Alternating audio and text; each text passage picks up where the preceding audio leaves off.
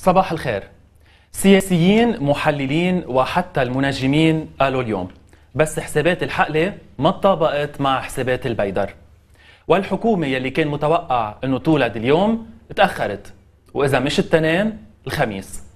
بالغربلة النهائية أسماء ومقعد بالزايد أو بالناقص والصورة التذكارية للحكومة بحاجة للمسة أخيرة.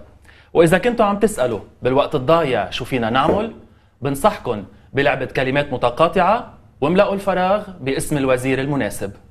بين الإحباط لدى البعض والغبطة لدى البعض الآخر بتتفاوت ردود الفعل على امتداد مساحة الوطن. ومع قرب انتهاء مرحلة التأليف والدخول بمرحلة جديدة عنوانها حكومة الوحدة الوطنية. وبتبقى العبرة بتحقيق الأهداف المرسومة والاستماع لمطالب الناس وأمنيهم مع تذليل عقبات التشكيل. التحدي الأول هو البيان الوزاري فالثقة وربما تلبية طموحات المواطنين. تقرير بيلقي الضوء للزميل خالد أبو شقرة منتابعه سوا.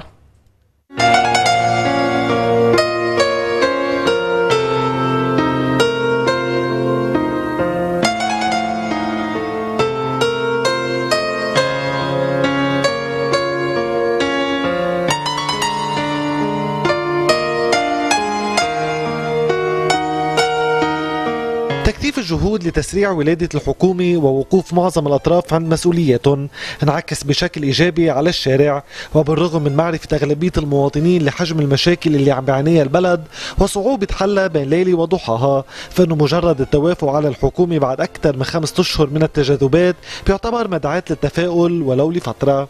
ما فيش حركة ما في شيء بالبلد أبدا. بسبب تأخير تشكيل الحكومة طيب ما يشكلوا ويخلصونا بقى. ما هي الهيئة التنفيذية هي كل شيء. إذا ما هي اجتمعوا وعملوا حكومة منين بده يمشي البلد؟ إيه نفسيا شوي بيرتاح الإنسان بس ما حيعملوا شيء بالنهاية بس مرتاح الوضع شوي. العالم ترتاح نفسيا شوي. بولادة حكومة جديدة بيرتاحوا العالم. برهان سهم السوليدير طلعوه ليرة ونص يعني تقريبا. 20% فرد نهار. بقى هيدي أنديس انه مضبوط في شيء. آه، ليك انت هلا بمنطقة هون كان في منع تجول. يعني الوضع وأنا بشتغل بشركة الوضع مزري جدا. إذا ما انحلت قصة الوزارة هيدي بدها تكون كارثة على البلد.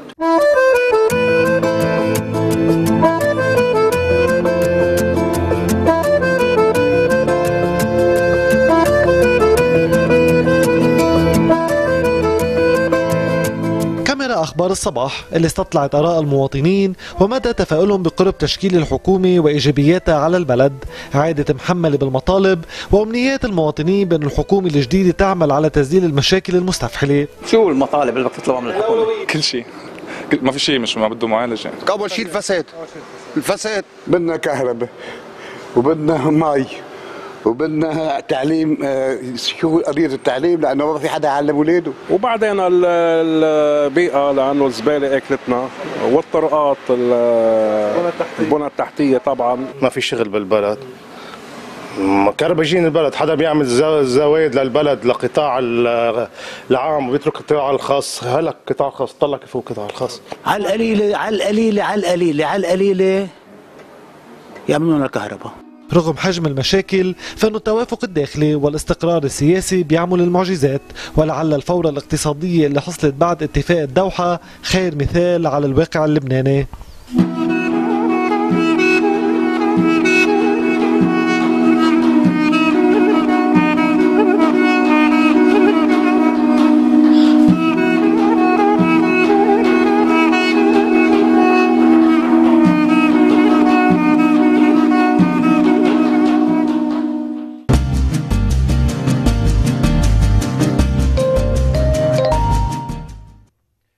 بنسخته الثالثة انطلق معرض Whisky Live المخصص لكل محبي الويسكي بلبنان وتخللوا ورش ورش عمل لتذوق الويسكي ونكهاته المختلفة والمتنوعة عالميا.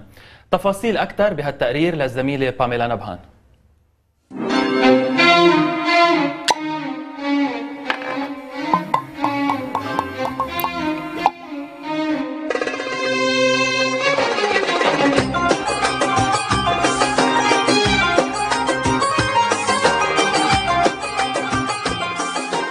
إن كان single malt bourbon أو سكوتش بيبقى الويسكي فن لكل محتسي ومتذوقي. فبتختلف الطعمات بين المدخن للفاكهة أو الممزوج بعدة نكهات وبيبقى الويسكي ثقافة وفن وكل شفة منه بتشكل رحلة بعيدة إن كان إلى اسكتلندا، إيرلندا، اليابان أو أمريكا. لنستذوق كل نكهاته ونظرا لعراقته أصبح اليوم للويسكي معرض بلبنان بيستقبل أكثر من 60 ماركة من أجود ماركات الويسكي العالمية. بنفس المساحة ليتعرف كل محبي الويسكي على مختلف نكهاته بمعرض Whisky Live اللي انطلق بنسخته الثالثة بمبادرة من شركة Hospitality Services معرض ممتاز بعقد هلا شو عم دوق؟ ما بعم حس لأنه على كتر ما دقت بس هيدا الجن و والخلطة ممتازة لأنه معمول مع ginger beer which is perfect I think. بتعرفي الحلو بأنه في آه، إبداع. يعني كل حدا عم يخترع شيء من ال product اللي عنده إياه مع التشكيلة. وأنا بيني وبينك ما كثير بضاين. يعني بتصور لآخر المعرض رح تكون انطفيت. هو البلد 18 اللي بيصير فيه ويسكي لايف هو franchise من لندن. بقلبه في كل شيء في single malts و whiskies آه، موجودة بالأسواق اللبنانية ومنا موجودة. كاسك حبيبي كاس المحبة يمكن لآخر مرة نشرب سوا هالكاس بكرة الطريق. بمشي لحالي وببقى أنا وخيالي قصة لكل الناس I understand that uh, there are something like 300,000 cases of British Scotch whisky that are exported to and imported into Lebanon every year. And that's a fantastic example. معرض بيعطي هو بيعبر عن الحياة حياة لبنان وحياة اللبنانية اللي بيحبوها التنوع والتذوق عرفتي كيف كل شيء له علاقة بالحضارة والتطور You have to smell it. So you have like first you have the alcohol is coming, and when you are just shaking it, you have more the, the fruity aromas that are coming. For this one, you see that it's more on vanilla. نحن الجن تبعنا 100% من لبنان. عم نعمله. أنا فتحنا ال distillery تبعنا برشميا so so basically معمول من تسعة botanicals واكثريتهم من الضيعة. عندنا جنينس عم نستعمل منهم. بلشوا يعملوا جن بلبنان. وفجأة نوصل نحن على هال stand الحلو مع الست الحلوة والشاب الطيب. إنه هيدا الجن شغل لبنان وال ingredients هن اعشاب أعشاب لبنانية. طعمتها سلسة كثير sweet. وناعمة ما بتاذي ما بتجرح أنت عم تشربيها وبتنشرب بلا ثلجه هذا المهم فيها. single malt يعني شغلة حلوة.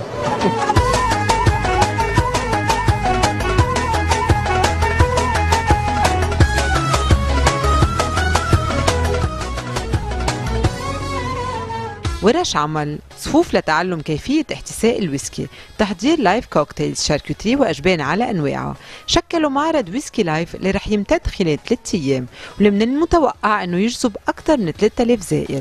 فرصة جديدة لإبراز دور بيروت كعاصمة للذوق والتذوق بالشرق الأوسط من قلب العاصمة من قلب وسط بيروت من مجمع البيال حيث رح يتمكن الزائرين بالتعرف على أجدد وأفخم أنواع الويسكي العالمية.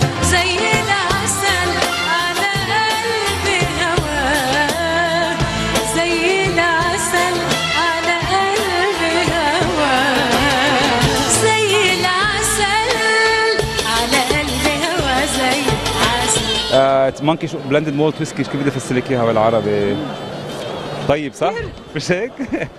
so it's mix of مربى إذا بدك fruits و sour mix اللي هو سكر وحامض والويسكي اللي هي Monkey Shoulder Do you like it?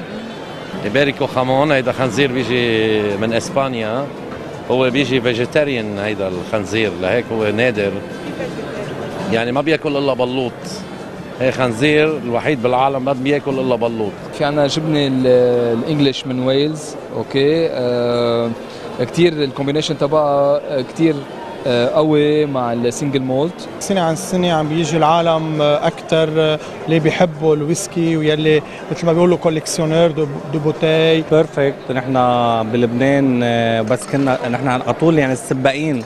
بهالأمور وإن شاء الله الله يوفقهم وشيء رائع جدا بالفعل. بتمنى كل ايامنا تبقى هيك فرح وسعادة ونكون لكل الناس اللي بيشربوا وما بيشربوا نقول لهم تشيرز ويعطيك العافية. مين حط لك هالوسواس انتو ناس ونحن ناس ومين حط لك هالوسواس انتو ناس ونحن ناس هيدا كاس وهيدا لكن بيضل المقياس وشو ما رح تلقى النية